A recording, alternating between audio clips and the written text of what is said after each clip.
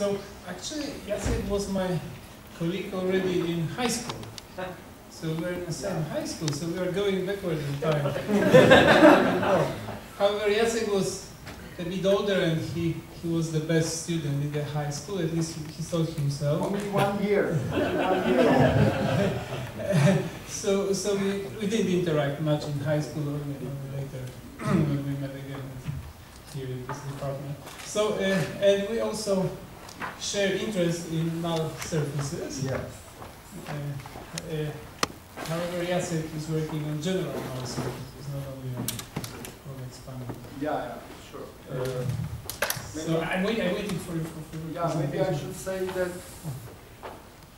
Jurek was in this group youngest because uh, first of all Piotr Chruściel is on the top, then uh, Jurek Kowalski uh, is lower than me, then you, then you.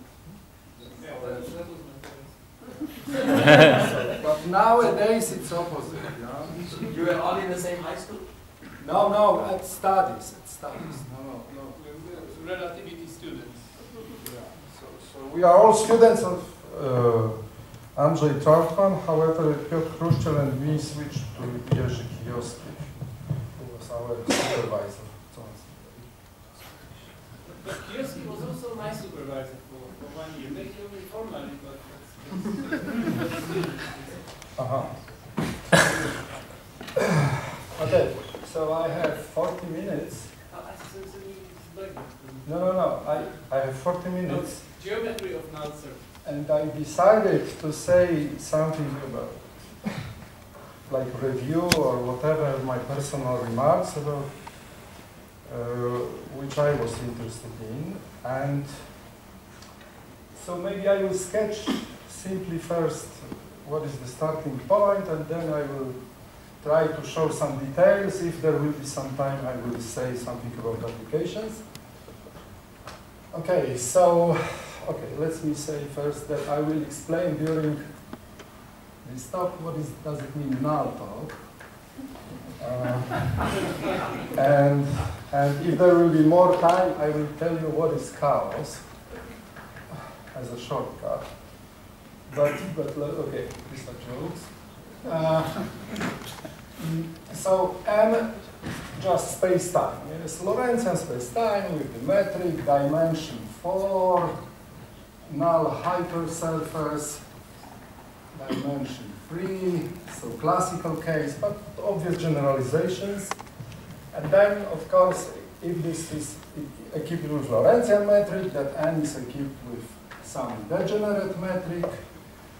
Uh, so there is some vector field, which, which is the degeneracy field of this object. So we have k is null vector field, and we know that uh, integral lines of k is just null geodesics. Uh, however, k is not specified, is specified only up to the rescaling. And, okay, so this is the starting point. And then we have uh, Levi-Civita connection moment. So we can build a tensor, which is first derivative of k. And if we restrict this tensor to n, which is not obvious but it works, then this object restricted to n will be called B, and this is so-called null Weingarten map.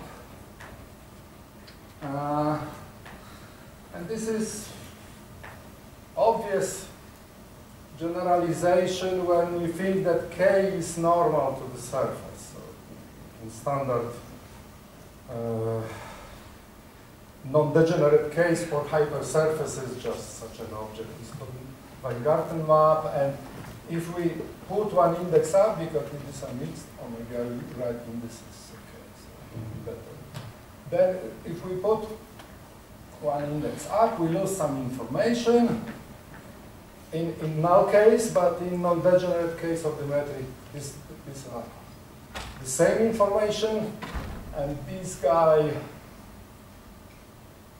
uh, is sometimes called null second fundamental form.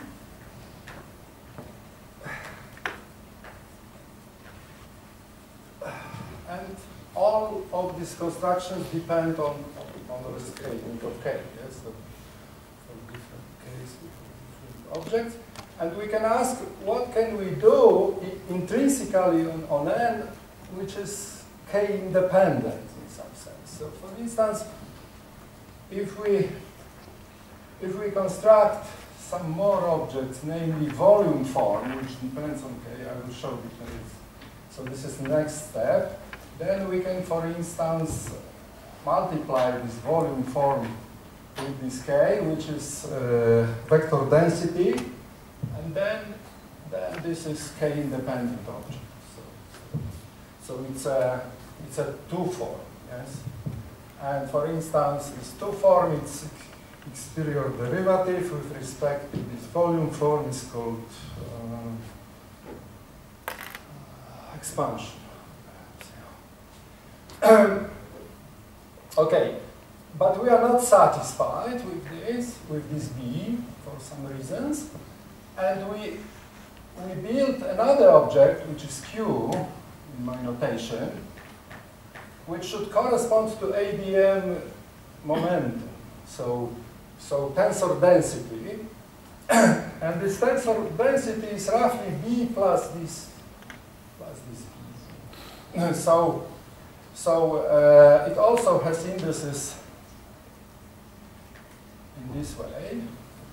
And what is nice about this object that uh, you can intrinsically define the divergence of this object without having natural connection on a null surface. This is another story. So, so in some sense you can define divergence of this and you will quickly discover that it corresponds to some component of the uh, Einstein tensor in densitized form. And if, if we have vacuum, you can put to, to zero, for instance. And this is the counterpart of vector constraint for initial data. So, so this Q and G play a role of n degenerate metric and canonical uh, ADM null momentum. So, so, so this is how it goes. Uh, but in non-degenerate case, we know that there is there is vector constraint, but there is also scalar constraint. So, so on this level, the scalar constraint is a k component of this vector, but you can build another uh, quantity which corresponds to the foliation of n. So, so if, if you want to, to, to think about n as a manifold, that's the end of the story. But if you foliate this manifold with some, let's say, two-dimensional surfaces, then you can do 2 plus 2 decomposition of n, and you can build another object which corresponds to another direction in the normal null direction, which is transverse to the n. And then the corresponding fourth constraints, fourth constraint appears on n, but it needs foliation. So, so this is the geometry.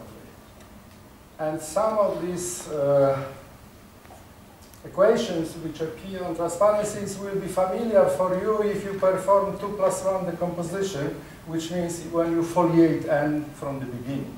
And this is what people do very often. So let me start with, uh, what is this? Ah, okay. So, thank you. Uh, so, uh, this is just transparency that I should start with something, so with some old ideas.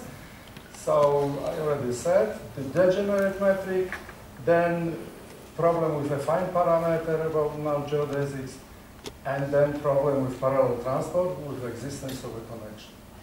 So, so these are steps. Uh, next, yes. Okay, so, so now what mathematicians do is, and, and, and this is the starting point, which is not satisfactory, but something can be done. Namely, you can uh, divide by the scale. So what does it mean divide by the scale? You pass to the quotient tangent space as a bundle over n, uh, and then the corresponding uh, distribution is two-dimensional. Yes, and it, it is often uh, called screen distribution. And on this screen distribution, there are some natural objects. So there is a Riemannian metric. Uh, next slide. Yes. Oh, okay. So first we pass through the classes, then you have Riemannian metric, and and the next one, please. And then you can do something with this with this uh, null Weingarten map and null second fundamental form, but now they are not three-dimensional objects, but they are objects on classes. Of, course, it is not obvious that you can do it, but but you can calculate and see that. So so so the output is that. Uh, First step is uh, quotient space. And what we can do on quotient space, next slide. So we can recognize something which is familiar for people who are doing horizons. So, so if this object, the second fundamental form, vanishes, then this surface is totally geodesic, and, and this is just uh, non-expanding horizons plus, plus, constraints, then the, the full, full B vanishes. So, so then you can divide, something does not depend on the section, which is transversal to the lines, etc., etc. So, so in this context, one can say that trivial null second fundamental form is a concept of horizon. Uh, okay. And the next step is to, to derive higher derivatives. And maybe this equation in this form is less known. I call this Riccati equation because of the form, yes? For ordinary differential equations, it's exactly this, this form, no, nonlinear square term. Uh, and, and this is a calculation, yes? So the output of this calculation is that, which is well known, is this so-called Raychaudhuri equation. So so in my opinion, the Raychaudhuri equation is a natural equation which can be uh, described on the quotient space. However, the rest of the story needs more. So maybe I should remind some proposition, which is well known. So this is one of the form, uh, an application of this, of this equation. Uh, okay. So the, the, summary now is as follows, that we have some diagram, diagrams, we have full tangent space, we have two-dimensional distribution, we have B or B bar, okay, and bar means passing to the quotient, and since now I will go to three dimensions, so the rest of the story will be without dividing by k. So these are standard properties of this object. So, so this null second fundamental form and null Weingarten map.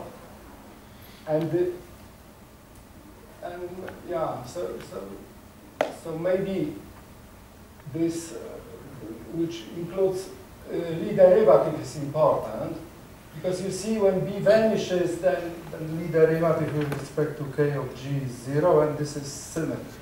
So, so in some sense, that, that's it. Yeah? Mm. Okay. And now we can ask some questions. Uh, uh, so we are, we are now somewhere here on this, and then we try to do this this line. Uh, yeah. So, so we want to have some analog of ADM momentum, initial value, uh, and, and the equations which you can interpret initial value constraint, but intrinsically. So, so there are possible applications. Uh, okay. Mm. So this is a reminder which already appeared. Everybody knows what is the standard ADM momentum. Yeah. Okay. And now maybe some repeatings, but I need coordinates. So, so x3 is a coordinate which is constant on n.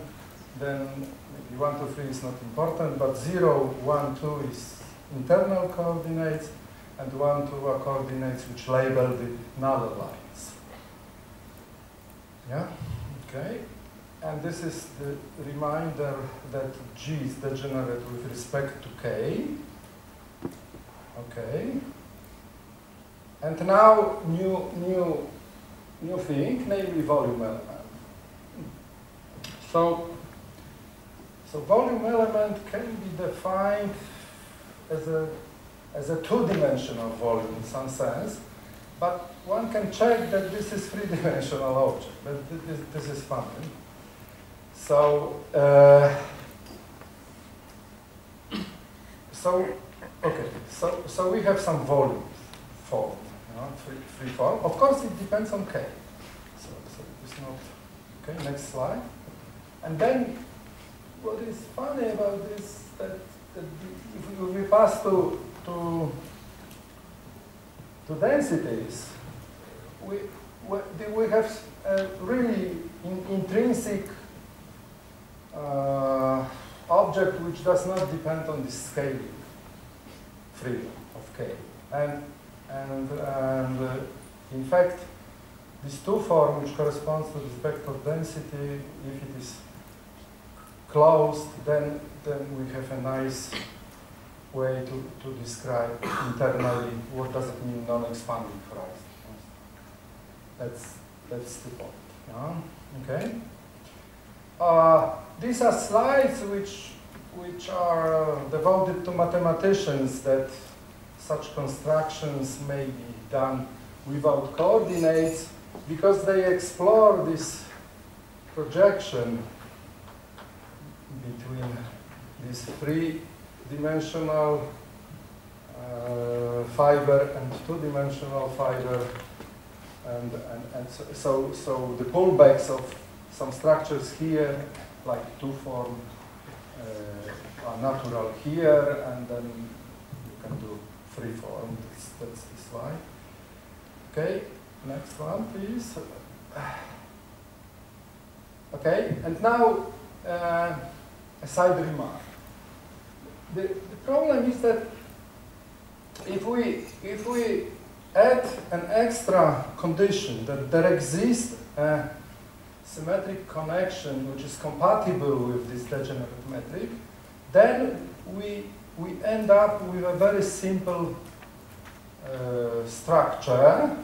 So this generic null hypersurface becomes totally geodesic. So, so, so, so this is, so we cannot, if you want to, if you want to understand generic null hypersurface, we cannot demand that there exists internal connection like in non-degenerate case, which is, obvious, this Gauss formula.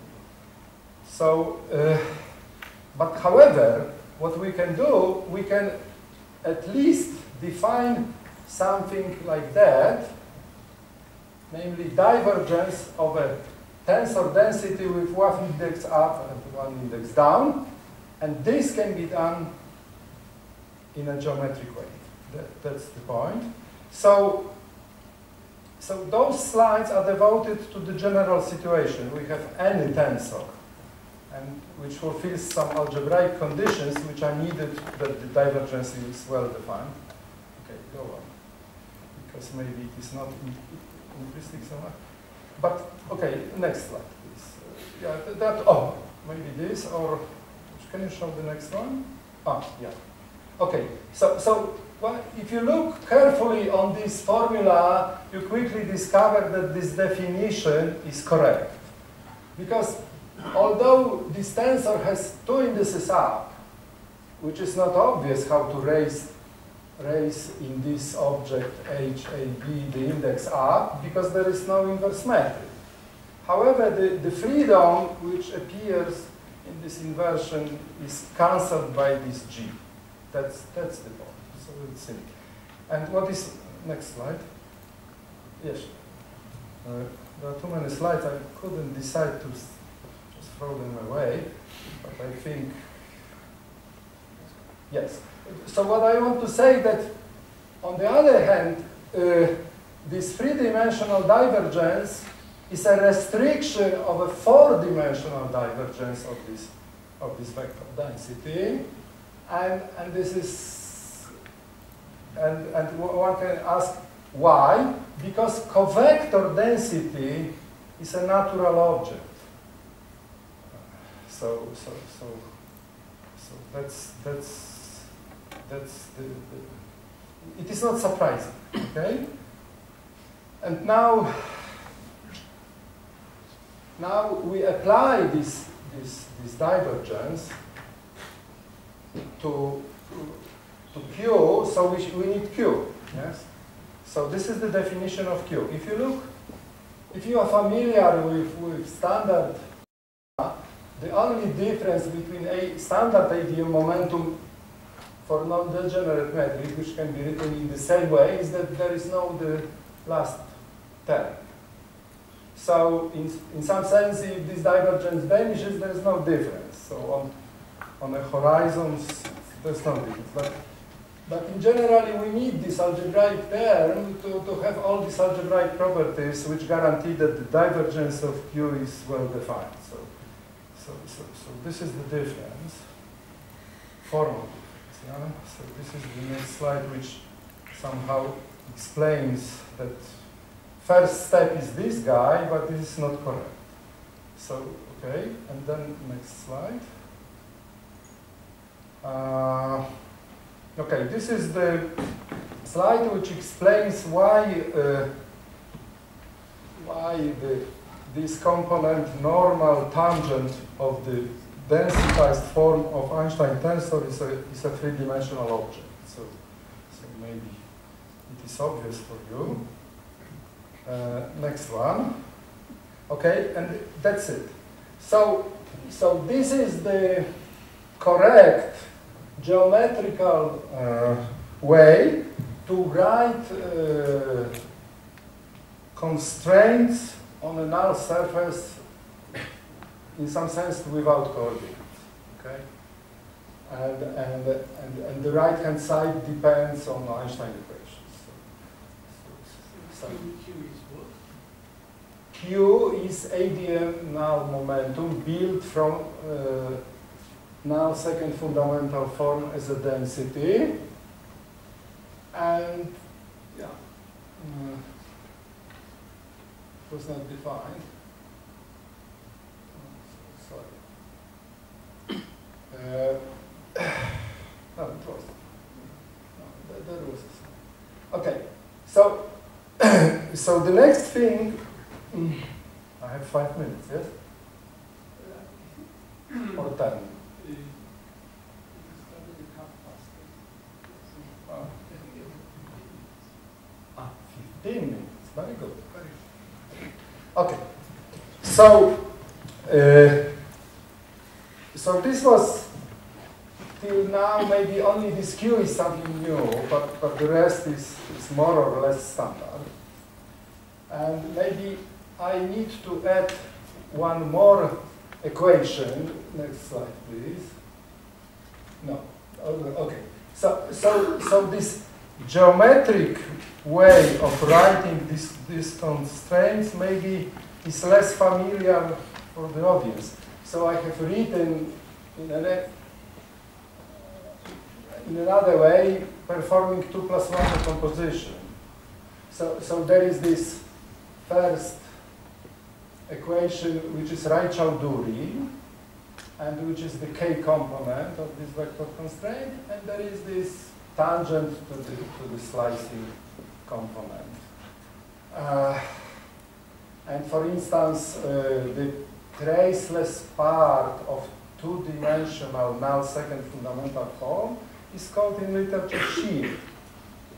and the trace of it is called expansion. So, so this is a different way of writing, and you can write as complex functions, etc. So, so here are just tensors. At- At least shear is a tensor. But but this is obvious that, that shear is, is as is a symmetric, traceless tensor. Yes, there is such an representation. Uh, okay. Uh, no, no, no. Uh, it's, it's, it's worth to say that if you split this Weingarten map into, into two-dimensional shear plus expansion, there is also a covector, which is left in, in this, in this uh, uh, object. But you, when, you, when you take this object, this covector disappears. So this is the difference between this and that. And, and this covector has also physical interpretations when we, we deal with Killing horizons, for instance. And then the K component of this is called surface gravity. Uh, and the rest is, I don't know, rotation form? Form, yeah. So, so these are equations which are more or less uh, familiar for you. When we pass to the non-expanding horizon, which means L vanishes, we have some equality which, quickly uh, says that shear should vanish. Plus. So, uh, something like that. So in this, in terms of this notation, omega is three. Omega is W, it's three-dimensional, yes. Three-dimensional. Yes, three-dimensional yes. So, so it says uh, surface gravity plus this two-dimensional object, they form in a natural way three-dimensional object. Okay? Uh, okay, and, and now I want to show something which is familiar for other people. Istvan, are you here? No. But Okay, but anyway, so so there is this which I call half intrinsic fourth constraint because it involves uh, expansion in, in, the transverse direction. know. But this is also a law which is transport equation. So, so, so it should be also called constraint. However, to write this equation, you need foliation. Because different foliation give different uh, KAB. okay. So you see, uh, I was fast. I have still 10 minutes. uh, so if you are interested in details, I can send you these slides. Also, I can send you precise references, papers. Uh, let me summarize what what I can do with those objects. Yes. So so objects which appear naturally is q and lambda. Okay. So for instance, this lambda is a natural object which which appears when we pass through the null shell, so distributional null matter. There's some jump of lambda. And, and if we have two crossing null shells, then we can go around this crossing sphere, let's say, and then we, we get something which is called in literature Dray-'t Hooft-Redmount formula, which means that four different Schwarzschild solutions cannot be assigned this null uh, shell free. There is some relation between masses. So, but one can write another theorem which is no longer spherically symmetric. And then it involves this object. Mm. Okay. Uh, the, the data, the data which I drew here, is a, is a natural data on a null surface which can be obtained from variational principles. So, so in some sense, one can play the, the game which I call local thermodynamics of black holes, where, where you don't assume from the beginning how this null surface looks like, and then the boundary data which involves Q and G is infinite dimensional. So, so, and after some symmetries, you pass to finite space. So, and, and this kind of construction is in our common paper. Uh, yes, and now, because the conference is somehow devoted to uh, part of the conference, in title, is devoted to near horizon geometry and horizons. I would like to, to say something about this trivial from this general point of view case, however, also interesting. So, so let me start with, with part of the near horizon geometry, which I called basic equation. And, and this is the equation which we need to solve. The rest of the equations are obvious how to solve. So, so, so th- this is the standard equation which was explored by Jurek for many years. And they managed to prove that if we assume axial symmetry, there is some unique solution. Okay? So, so the question is, what about non-symmetric case? Okay, so on the next slide, I have a good uh, news for you, namely at least linear around kerr is done. So, so the first step in this direction was my method, which is called in literature maybe Jezierski, Kamiński transformation or whatever. But, but uh, the method enable one enables one to write part of the theory in a linear level. Uh, so, so, so this is non-linear part. So, so this is inverse transformation on, on this covector WA. This inverse transformations enables to write, at least from this free equation, two of them become linear. And, and because they are linear, uh, it's easier to handle. Although the, the, the, the third one is highly complicated, non-linear one. Nevertheless, uh, uh, we managed with my student to prove some hypothesis uh, about this deviation from the symmetry, and what was left was in this infinite dimensional space was, was just finite space.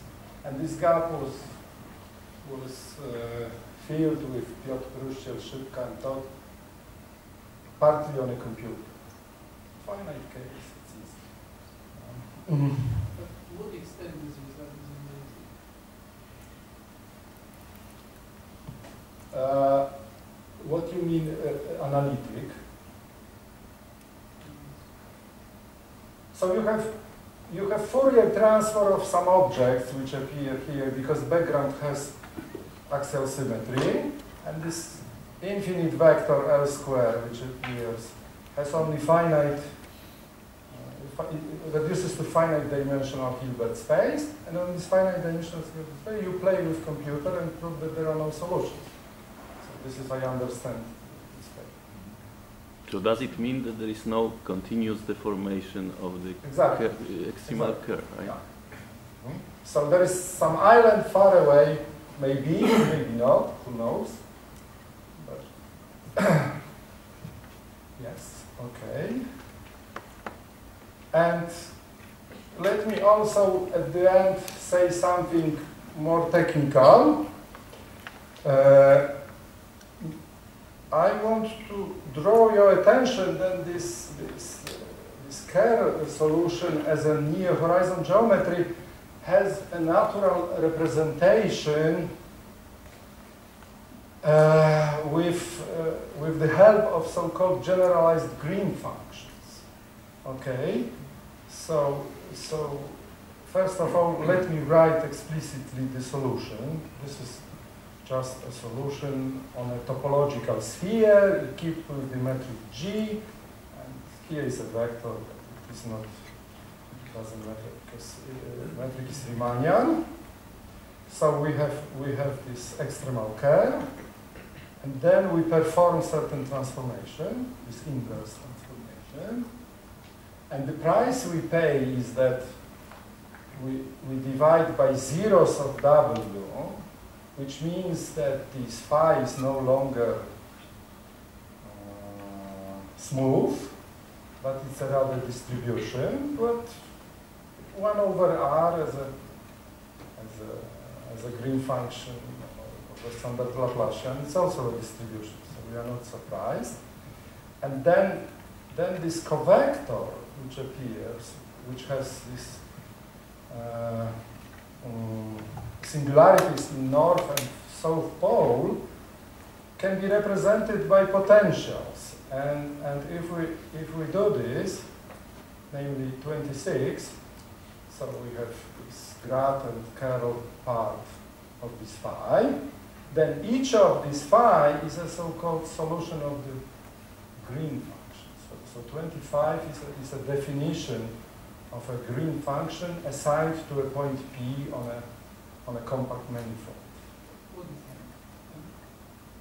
Uh, and in, in Kerr is just mass, but here it's related to the volume, which means that the integral of, of the right-hand side has to vanish because you have Laplacian. Uh, so, so, this is why it is generalized. You remove uh, constant part of G. Constant harmonic. uh, and, and that's it. Namely, you have definition, but pr the problem is what is G? And what is really surprising that this uh, that this G can be written in an explicit form. So I can say that this G written is, is the Kerr, is the new horizon Uh, okay, thank you.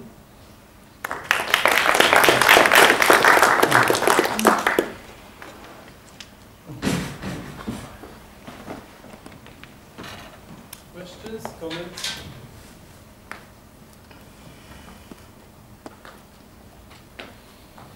Ah, okay. Near, near to the. uh, Now talk.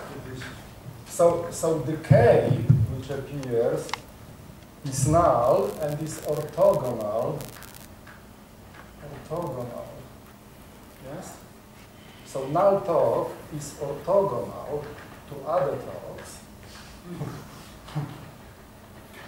but has something common, tangent, with other with others. So this is the definition of an alto.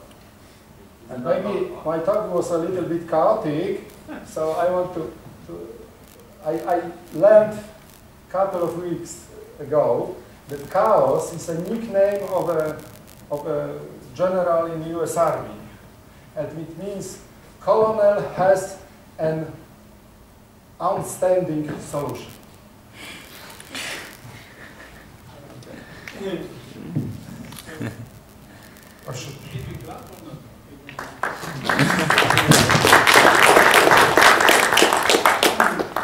so, so there was a question whether a null talk is orthogonal to itself. Yeah. So, so It what, should be. So what? So once again, what is M? M is the area of this. What is M? No, no, that was uh, lowercase m in your green function. For, for Yeah, this was a parameter which characterizes uh, Kerr solution. So, so, so M is M and M squared is J. That's all. So this is this parameter. So, so this is a normal, normalization of the volume. no, no, but what I meant is that m usually has units, so it's uh, mass. Yeah, okay. Okay, other, other more questions about null surfaces. Um, If, if this is not the case, let us thank you.